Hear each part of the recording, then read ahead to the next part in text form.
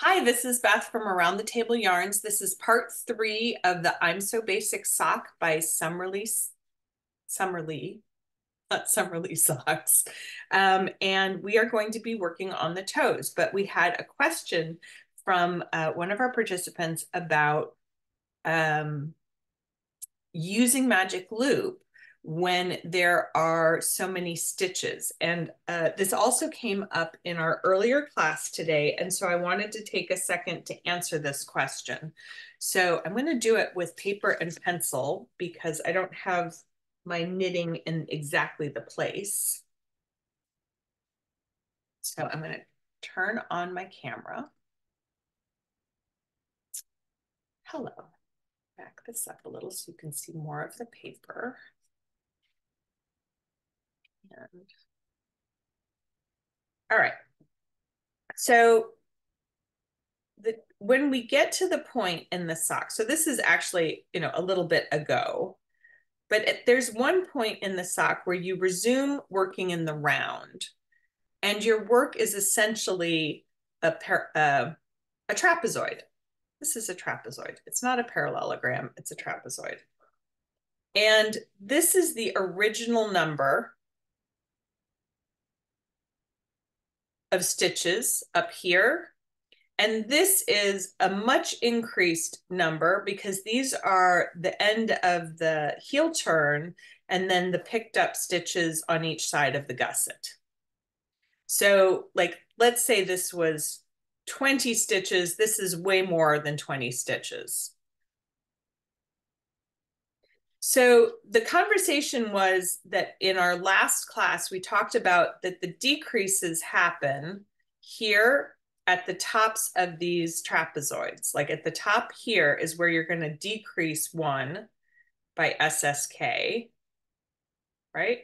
And then this is the one that you're going to knit two together, unless I'm getting that wrong. And I could be getting that backwards. So I'm just doing it off the top of my head. I think I might be backwards. Um, so that might be the knit two together knit two together, and this is the SSK. But regardless, you do it right at the top, not on the instep. Those that original number stays the same. And you do the knit two together here and the SSK here. So what I had suggested is that the beginning of the round start here,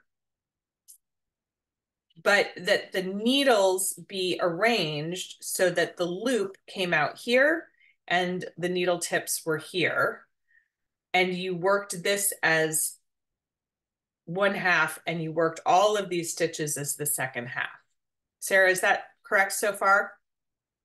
Yes, I yes, I think so. My So it was suggested in class that this be the place where the loop is and that halfway through the instep stitches be the point where the two needle tips are coming out where in other words the point of changing the round the, the beginning of the round would be also the point of changing the orientation of the needle. In other words this number and this number would be the same but you would have to keep track of which one was the beginning and was the knit two together side and which one was the SSK. Does that make uh, sense? That does make sense. And you would probably want like more markers in that case. I've been able to get away with no Well, you don't need them now. if you're doing magic loop, these are just separated, but you could have maybe different color markers to identify. So this could be yeah. green and that's your you know, that's your knit two together side, and this is your blue marker, and that's your SSK side. Yeah, I think uh, that makes sense. My my struggle was trying to get all of those those stitches onto the needle itself. That was like right. the hard part. So thank you. That's a good idea. So this so this is another way of orienting it so that you can have the same number. So what that means is that in a round, here's side one, there's a decrease. In side two, there's also a decrease. And then there's a round where both side one and side two don't get decreased. That makes sense. Okay. Um, so that came up in class today. Uh, apparently, the original knitting on uh, magic loop book that came out that uh, some of the participants this morning had used always recommended doing it this way And I think uh, you'll also remember that Summer Lee doesn't have you switch here. This is not her beginning of the round. Her beginning of the round is here before the decrease in this direction so that this is the first decrease. This is the first half of the round or the second half, I can't remember. And then you decrease again before you get to the end of that needle and then switch needles. So um, so it's in that same orientation of having all of the bottom stitches, the bottom of the foot stitches on one needle, all of the top of the foot stitches on another needle, but she was calling this the beginning of the round and then coming back to here. So uh, any way you slice it, it's still cake. So it's okay to do to decide that it's easier for you to to split them in half this way instead of this way, especially since that's not half. So if it makes it easier for you to have the same number of stitches on each needle, you have to orient it this way. If you do that, when you get to the part that we're at, which is the toe, you have to reorient it so that your needles are switching here, not here, because otherwise your toe will run vertically. Does that make sense? Yes, that does make sense. Okay. Thank you. You're welcome. No, that was a great question. Um, so today, what we're going to talk about, what I'm going to demonstrate today is just the, the simplest thing, the, the shaping of the toes. So we're here at the top of one foot, and I'm going to do the shaping of the toes on this foot um, with the contrast color yarn. And then um, I have my other toe ready to do the the grafting on. And so I'm going to demonstrate the grafting on that one. And those are the two other things that we're going to cover today so that we've recorded them, especially since we've changed how we do SSKs. And I want to have a video where we do it the new way, the kimono sleeve way, as opposed to our old way of doing SSKs. And ask me now if that sounds unfamiliar to either of you. Yeah, okay, good. All right, so I'm breaking off my working yarn from my other sock and I'm done with my working yarn. I have this much left. That looks like that could be something, doesn't it? And I'm going to leave a long tail.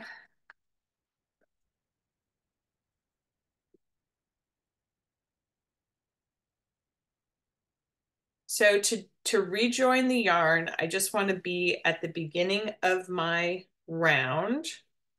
So my round is starting here on the right-hand side of my heel side of my sock. Make sure that I'm in exactly the right place. Yep.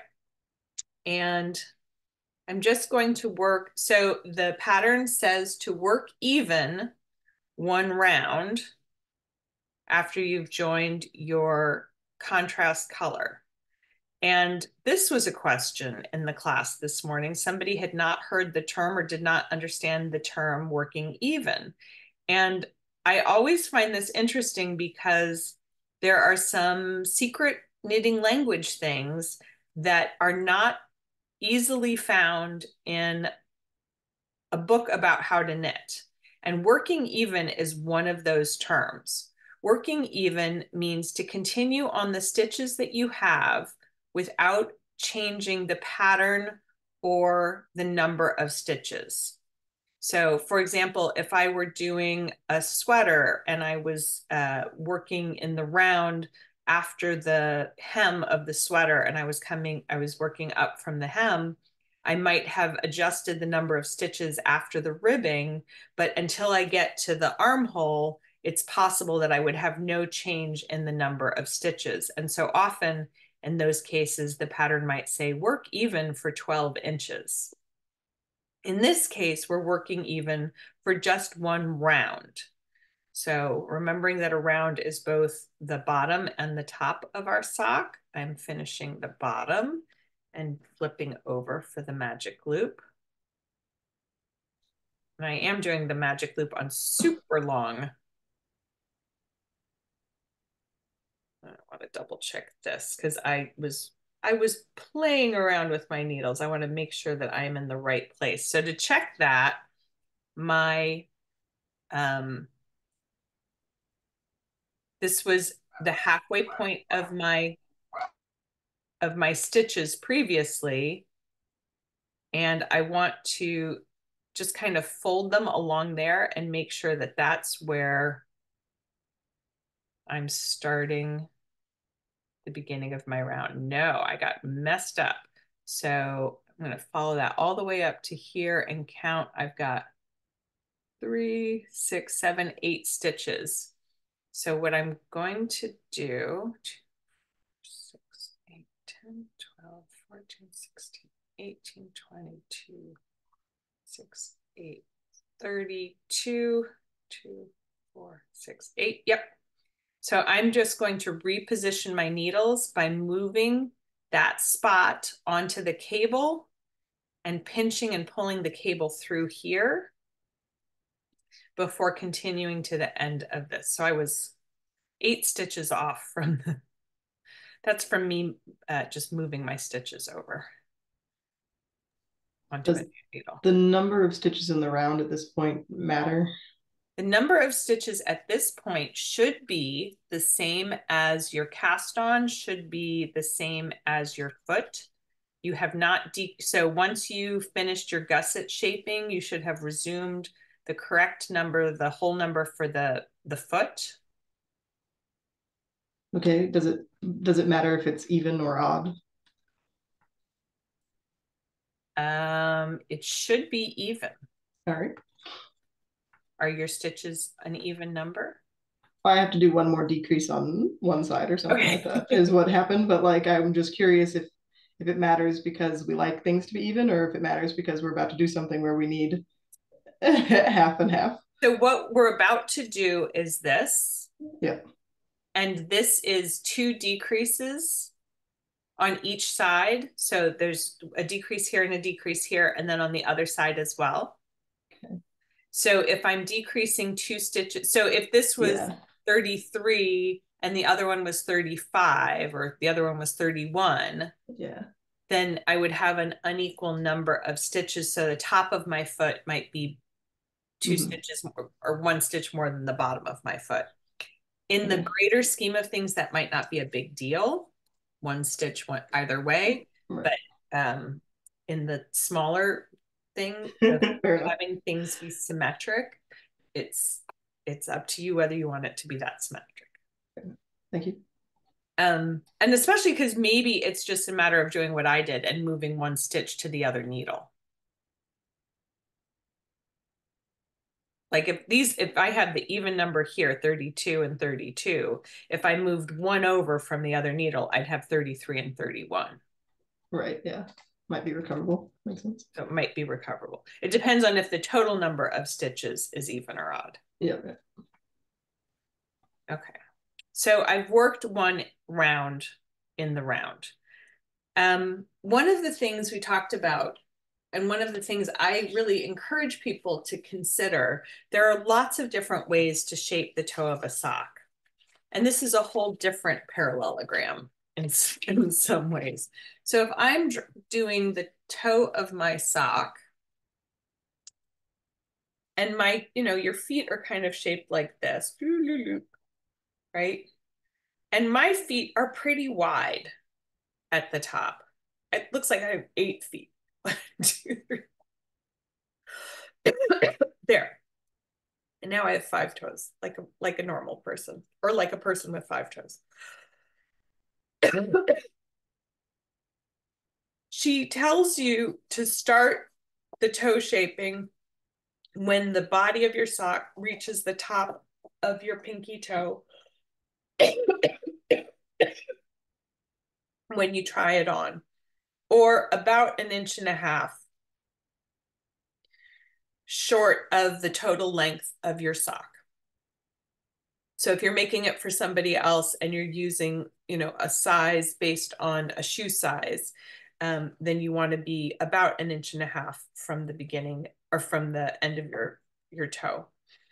So the the way that sock shaping happens they usually decrease one stitch every other row and make a shape like this. And they get to about uh, a little bit less than half the original number of stitches total when they get to the top. So if my total was 64, they get to like uh, 30, 30 or 28 stitches total, which is a little bit less than what half of my original number would be. And so they're decreasing every other row. And it makes a much steeper or a much, you know, more of an angle, more acute of an angle in this direction. And um, I find that a little bit restrictive on my feet. So I actually like to do the top of my sock at a slightly less steep angle, and I do it every third. So if this has one row in between, I have two rows in between. And I don't do as many decreases. And so I have more stitches left at the top to to bind off than if I did it this way. So it's a little bit closer to a tube sock top, but that's just more comfortable for me. So I just want to invite you as uh, you're discovering your preferences for sock knitting. If you like a different angle and you don't want as acute an angle as, as tipped in an angle, if you want it to be a little bit more straight, it's okay if you um, change your, but, but do record what you do and make it repeatable. There are other people who like to do the, you know, one every two, and then they go to every row and they have a much steeper angle at the top and they create, you know, an even shorter number of stitches, an even lower number of stitches to graft together later. And all of these are acceptable. Um, there are even people, Kate Atherley is somebody who decreases until she has a very small number of stitches and then she cinches them together and she avoids doing grafting altogether. And that's our, our sock next time. So it's just a, a little note to say you get to do what you want to fit your own foot if you're making your own socks. So do you did I understand that the way you like to do yours is a little more rounded? do you start decreasing sooner? No, I do my round. I I my toe is slightly shorter. So I've decreased this toe every third row. Okay. So I did my first decrease and then I worked two rows before I decreased again instead of just one round. Sorry, round. So I did two rounds. So my angle, this angle here, is not as acute as if I had done it every other round. That would have and, that would have you, come in more. And you end up with more stitches than to graft. Yes, I have more stitches at the top to graft. Okay. But I like okay. that because I have great big shovel shaped feet. okay. So for me, that makes sense. And that feels more comfortable. I was wearing out the toes of my socks more. And so I like this better. Bernie, who's just joined us, may have other ways of doing her toes. No, I do them the same way you do. Um, every third? No, I do it every second, but I'm going to go to every third because I, I do the same thing. I wear out my toes. Yeah. So I think I think you can preserve your toes a little longer if you make it a little less because your socks are um they're not sided. You're not doing a left sock and a right sock, presumably. And right. your your big toe is really fighting against this angle. So if that angle wasn't quite as sharp, then your big toe would have a little less to fight against. And that's usually the nail and the and the toe that's wearing on the toe of a sock. Now, how many stitches do you go down to? Do you have to Kitchener? So I stopped here. Two, four, six, eight, 16, 18, 20. I went to 20 from 30. Okay, it's, usually like 16, so that's not bad. So I'm I'm within spitting distance, hmm but and it's kind of an eyeball thing. And notice I'm ready to do my other toe right now. So if I didn't if I wasn't ready to do my toe, I'd want to make sure I made a note of the number of stitches Yeah. I went down to if I was if I was veering off of the pattern as I am wont to do.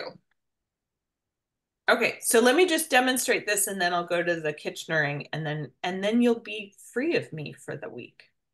So we're always going to do our decrease one stitch in from the end. So you're going to have one stitch that is not a decrease. I'm going to zoom on my zoom. And now I'm going to just demonstrate that same SSK that I got from Patty Lyons, the one that we are calling the Japanese kimono SSK. So normal, I'm going to show you the normal SSK and then the Japanese kimono one. Normally when you do an SSK, you move the first stitch on your left needle knitwise, you slip it off knitwise, and then you slip another one off knitwise and then you put the left needle into the fronts of those two slip stitches and then you work them together right? Yep. so that's that's the all the steps of a normal ssk well there is a way to do this. I'm going to return them to the needle the way that they started. There is a way to do this that makes a slightly less elongated ssk so it matches the knit two together a little bit better and it eliminates one of those steps or it, it goes from being sort of a three step to a two step process. And that is to slip the first stitch completely off knitwise and then pivot the right needle so that the left tip of the needle goes into the front of the stitch you just slipped and the right needle tip goes into the back of the next stitch along the needle so we call it the kimono sleeve because we think of it as like when you have those long kimono sleeves and you put both hands in. Mhm. Does that make sense? That kind of analogy? And then you wrap them just like you would the SSK. And it creates a somewhat less pronounced left leaning decrease than the traditional SSK. And then at the end of the row, you're just going to do your knit two together. So I'll just work over to there and show you that. And then I'll turn and we'll do the SSK one more time, just so everybody has a chance to see it.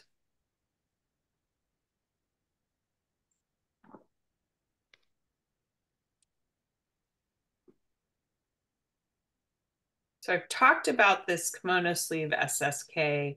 Um, I learned it from Patty Lyons from her Bag of Knitting Tricks book and I'm just she doesn't call it kimono sleeve. That's my own. Uh, it's not my own name. Somebody in one of my classes called it that, and we we thought that was a perfect name.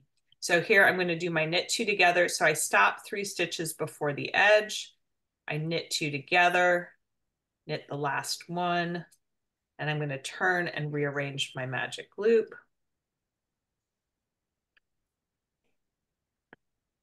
And I'm going to repeat that for the second side.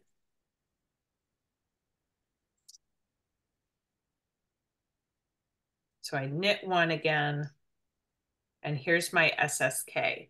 I'm going to slip this knitwise so it turns the stitch. I'm going to put the left needle tip, I'm pivoting my right needle, the left needle tip goes in that, and then you go into the back of the next stitch like that, and you knit them together. And I think the place where I think this will make the most difference for knitters is when you're doing lace work and you have multiple SSKs across the row because you don't have to do that extra step of the second slipped stitch and then putting the left needle into the fronts of the two slip stitches and working them together. So it saves you one little step. And I'm always looking for a little bit more ergonomic or a little bit more um, streamlined technique. And I think that this technique is both a little bit more ergonomic and creates a nicer looking decrease.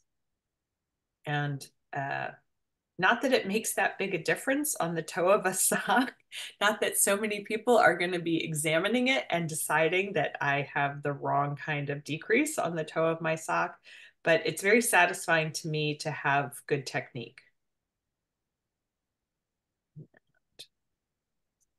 That is, I one stitch too far. That is just a yarn over my needle. Okay. So I would continue doing those decreases.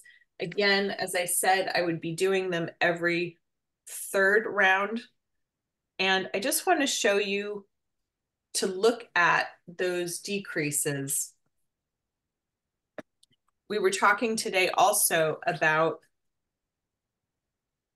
being able to read your knitting. So when you put the stitches together in a decrease like that, it kind of looks like this at the bottom with one stitch coming out of it. Mm -hmm. So that's like here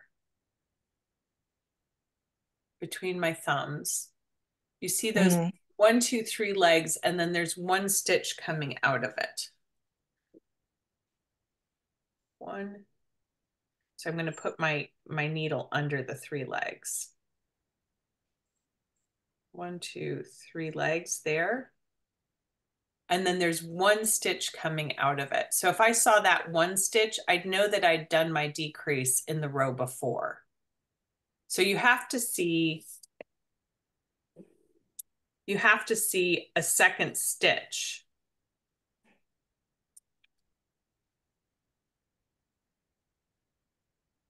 So if you were doing it every other round, my next round where I would have done a decrease is here. But as you can see, I've got an extra round in between. We've got one, two, and then I did a decrease here in three.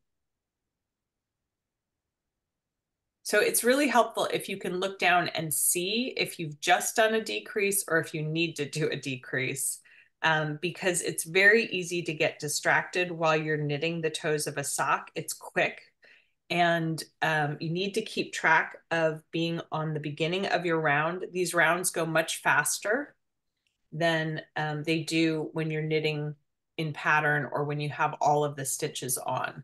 So do try and keep track of when you're at the beginning of a round and whether or not it's the round that you're going to decrease in or work without any shaping. I have put my darning needle down again.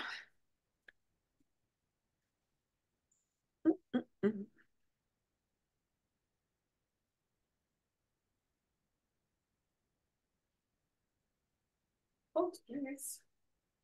There's no darning without a needle. the dog got it. No, it's here. it was it was hiding over by the TV. Okay. So I'm ready to do this. You don't need a forever long strand strand left, but you do need to be able to go about one, two, three times across and then some. I like to have, you know, a little bit to play with. So a couple of feet is too much, but 18 inches is maybe fine.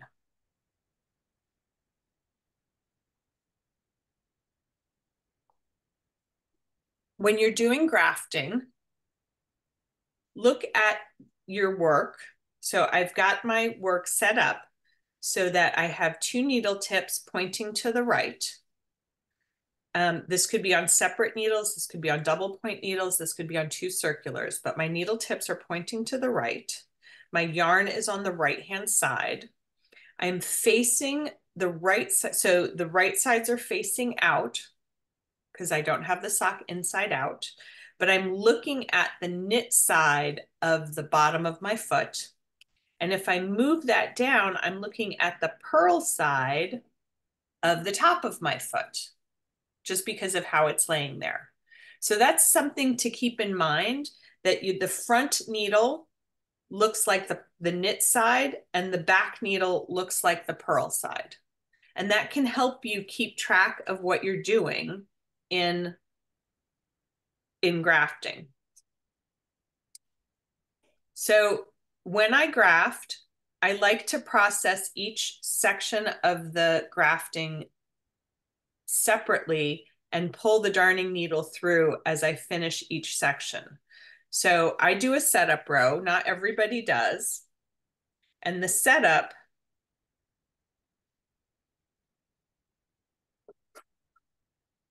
is front needle,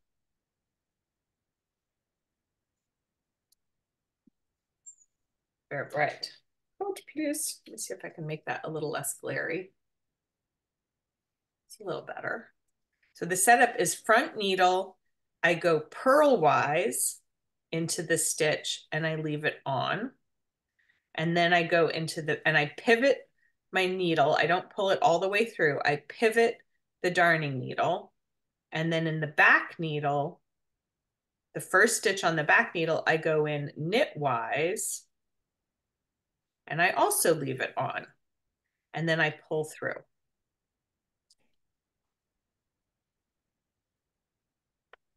So that front purlwise, leave on and pivot the needle looks like this. Front, go into that stitch purlwise, and I'm gonna, actually I have to pull through, sorry. Pull through. I can't pivot from there. I'm gonna keep my darning needle below the tips of my needles. So I'm not going to do anything above here. I'm going to stay underneath and I'm going to put my darning needle into the first stitch on the on the back needle knitwise. So back knitwise and I leave that stitch on the, the back needle and I pull through the working yarn.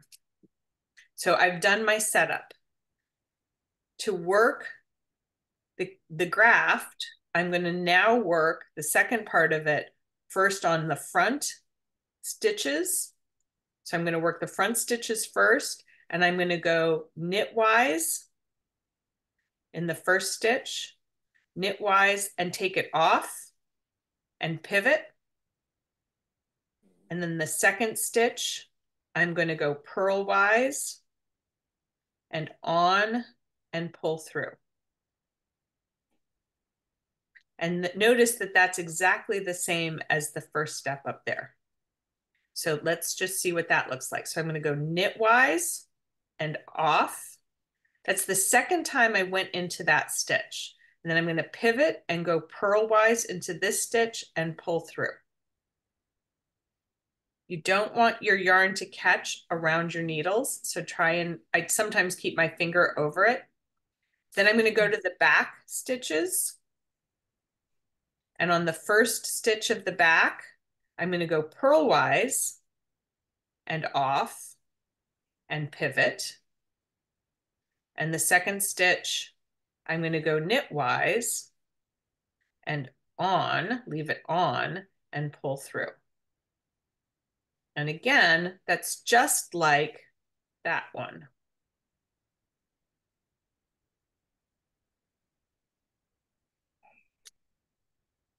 And it looks like this. So I go in knit knitwise, sorry. Purlwise. Purlwise, yep. Purlwise and off. Don't pull the, the darning needle through. Then go knitwise into the first, or the next stitch. And now we're gonna pull the darning needle through. And I pull it fairly firmly when I finish that stitch. So now I've done the front and the back each. I'm going to go back and do the front again.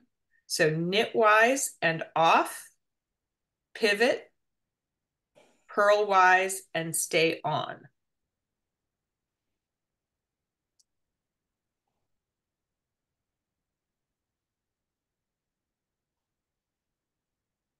Okay, so keeping my pointer finger there to sort of guard that yarn from getting all caught up.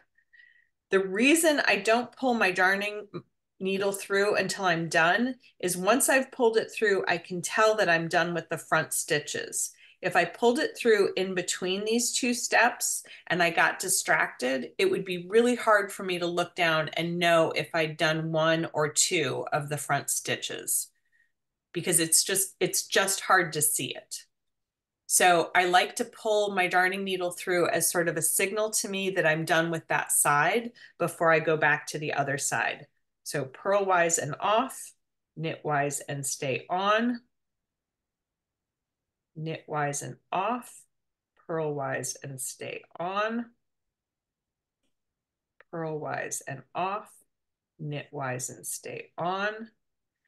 So it's interesting when I start, I start with the, you know, we talked about the front needle being the knit, the knit side facing. And the back needle is the purl side facing. So you start with the opposite.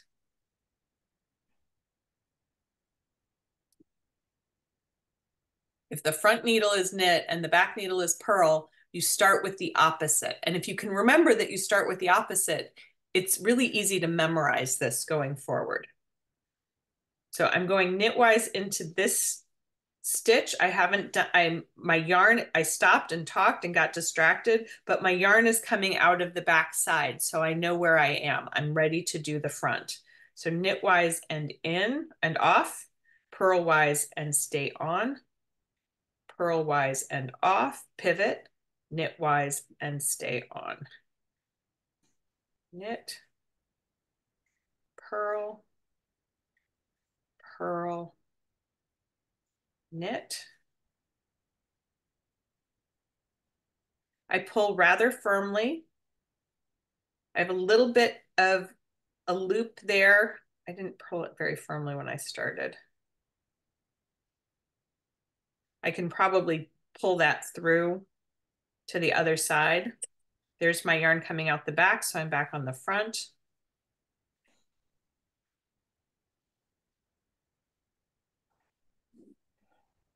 Purl, knit.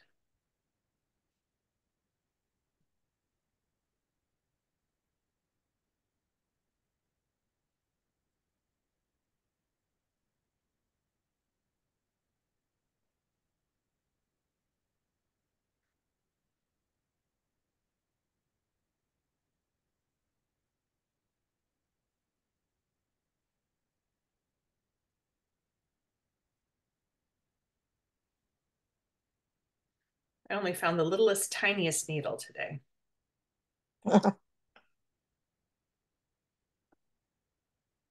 it's easier on a smaller needle, I think. It is. But it's a little fiddly. My fingers yeah. feel, feel, fat. They feel, they feel. I, I don't do the setup row, and then I don't get the, if I do the setup row, I get the ears. Mm-hmm. So I don't do the setup row anymore. We discussed this today because I said I do know people who don't do the setup row. If you don't do the setup row, you should also not do the finishing row. Right. So I, I will I will I will elaborate that when I get to the end of this okay section. But um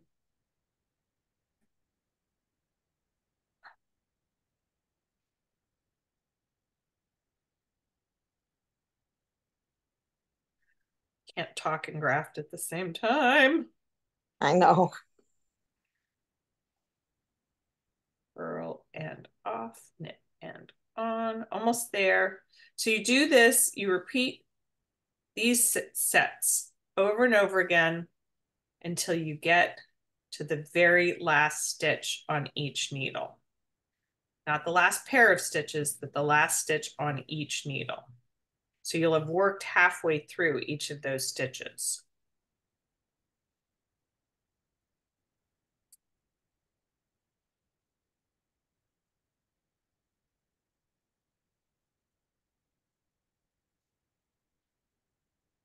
But I think, also, sorry. Who's sick, Pam? Pam is very sick. I thought it was you because of your husband last week. No, but she told me that he made her sick, and I was like, he didn't make me sick. So what have you two been doing? Exactly. What, what when did he get out and get over to Pam's house? Is what I want to know. Yeah, right. So this is what it looks like on the top of my sock, just this really smooth, almost unbroken line of stitches that I've created a, a row of what's like knitted stitches. So I'm on the last two, and here we finish up the knitwise and off, purlwise and stay on, purlwise and off, knitwise and stay on. Now, if your name is Bernie, you would just slip the, the stitches off of the two needles. Well, what I do is I go through one needle, knitwise, one needle purlwise, and tuck it in. Well, then you do do the, you finish it up. Yeah, pretty much. Okay. So, so the last part of it, the finish, the front, you go knitwise and off, Right. And you can pivot. And the back, purlwise and off and pivot. And what's interesting is that's the same as those. hmm So that looks like this, knitwise and off, purlwise and off. My needle is done. I can pull my working yarn through and I see a little bit of an ear there. However, Right. if you take your darning needle, you can catch those two stitches if you want with the yarn and you can pull it in and it removes the ear. Yeah, that's what I do. So that's how I resolve the ears on my on my sock is I just pull through to the other side so that the ear is buried in that corner. So that's the the toe of my sock and that's the that's the shape that I feel like fits me the best. That's So awful short. um I think my socks are longer. Okay. I tried it on and I was like, yeah, I'm plenty, I'm plenty good. But if it is Okay. short, I will pull it out and redo it. But I had to get to the grafting part tonight. hmm so I think I may have to redo that, but hopefully it will fit because it was kind it was a little this the sock felt a little bit long when I got to there. So I, the other thing I would say is when you're making socks for yourself, you get to keep trying them on and match things exactly. And Well, make that's them, if you and make them that's fit. if you could fit, bend over and get them on your feet. That's if you can bend over and get them on your feet. Right. So I, that I use the ruler. huh? I use the sock ruler The sock and I mark where I have to knit to before I do my toes, and that works for me. Okay. The last thing I want to show, uh, weaving in ends is pretty straightforward for most of the sock stuff, but I do like this little trick at the end for weaving in um, to create a seamless looking top. So where we started and we cast on, um, I like to do a little mock cast on stitch. So this these stitches are looping around each other here. And so I'm going to make this one look like it's looping around by coming back to where it's coming from. So that create it looks like it's finished. And then when I weave it in, I weave it down the ribbing. And I just go back and forth under one of the halves of the ribbing there. One, two, three, maybe four times. And then I cross it back on itself so that it's kind of locked into place. And I find that that's enough to secure my end and it creates a nice, a much smoother top of my sock. Any questions? No. No. You know, I saw something interesting on people making scrappy socks. Yeah. So you don't have to weave in your ends. Yeah. Every, every other stitch, you add your end that you're weaving in, and it doesn't show. I haven't tried it yet, but look kind of interesting. Instead of like the Stephen West does winding it. Is that like the weave in Stephen? No, it's it's different. It's like you pick up a stitch, you wrap your arm around the front, and then you put it in the back, and then you knit a stitch. Can you say the name of a sock? I could go look at the pattern. No, I don't know whose it is. I was just watching YouTube's this weekend. Okay. If you, if you find that YouTube, send it to me. Okay. Okay. But it's interesting because, yeah. like I said, she pulls it front and then she pulls. It's kind of when you do um, Fair Isle, basically. Okay. I know the Proudfoot, she did the um the slip stitch throughout, and so it made it so that you could like run your ends into those slips. Yeah. I'm just gonna share my screen briefly. And uh, let me find, let me open it first. Um, I just want to say that today is the last day of this of this sock. Congratulations if you've gotten to the end, and uh, I'm I hope you will get to the end if you haven't. Um, the next sock is called the Dip in the Road, and it's on Ravelry. It's also on our website, and I'm gonna find it around the table yarns. Where do we? Where do I live?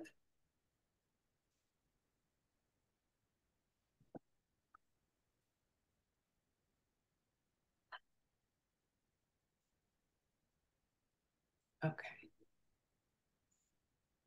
So, could you see my screen? We did then, but not now. Okay. All right. Here it is. It's there. So, if you go to our website on calendar and resources on Project Monday, which is what Sock Club is part of, if you click on Sock Club, the I'm So Basic socks. This is a link to the pattern. If you don't have it already, it is a free pattern that you can download from Ravelry. And then the videos for uh, the first day, the German twisted cast on for the heel flap, heel turn and gusset. And then today's will be here. And this will be toes. And the video link will be here.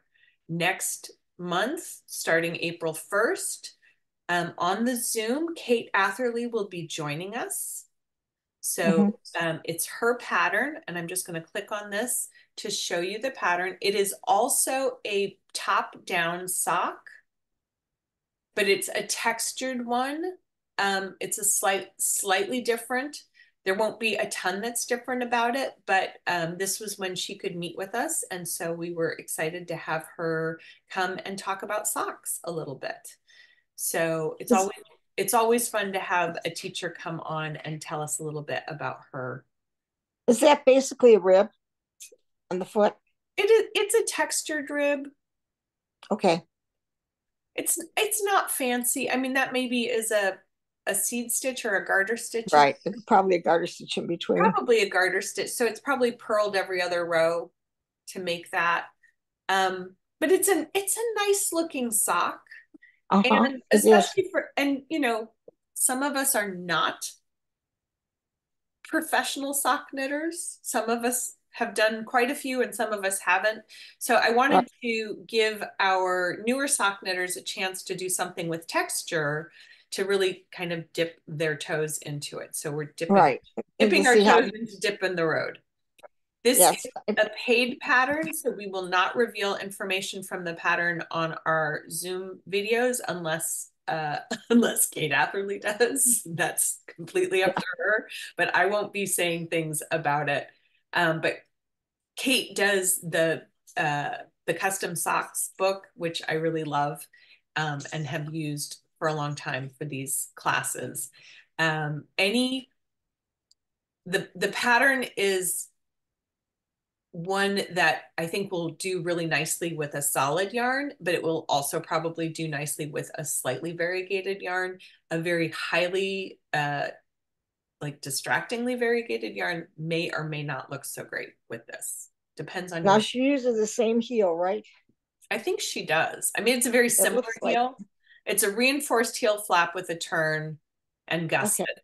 And then okay. she does a no graft toe although oh, these kind of look like she she grafted the toe so i'm not sure. Um mm-hmm. but we're gonna so we're gonna do a different kind of a toe next time and do the no graft toe. Okay. So that nice. that is on april 1st at 6 p.m eastern time. Um, there's again this is a free class that we run. It's free all year. The videos are free. They're they're left up per, in perpetuity. And it will go up shortly uh, when we stop. We are recording, right? Please God, yeah. tell me I'm recording. yes, we're recording. it's been such a long day. Okay, so um, thank you very much for joining us for Sock Club. This is one of my favorite things that we do, and I hope you enjoy your I'm So Basic socks. Yeah, I, I loved it. I learned something new every single time. Thank you. I, I watch all of them, the videos. If I don't get there online, I watch the videos. I learn something every single time. Well, I'm glad to hear that because like this one, you know, the kimono sleeve decrease is the only thing that I feel is really new, but it's it's like I don't know, that's kind of worth the price of admission right there. Right. It's well, a, plus the fact where you, you you do the different Kitchener. I never knew to pivot it. Oh, Good. I didn't know you could pivot it. I just go in and out, in and out, and talk to myself. But thank you. I I feel like if I don't do the pivot, if I pull my my yarn all the way out, I have a tendency to lose track of where I am. Oh, I talk to myself. Yes, but sometimes I get interrupted. And yeah, I yeah, I, I usually do it when I'm by myself and nobody's around. And nobody's around. So if you can do it by yourself with nobody around, otherwise I do recommend the pivoting yeah, that's good. Okay. Thank you all very much. Have a great night. And uh, there is social Zoom at 7.30 if you're interested. Okay, thank you. So much. Thank you. Bye-bye. Bye.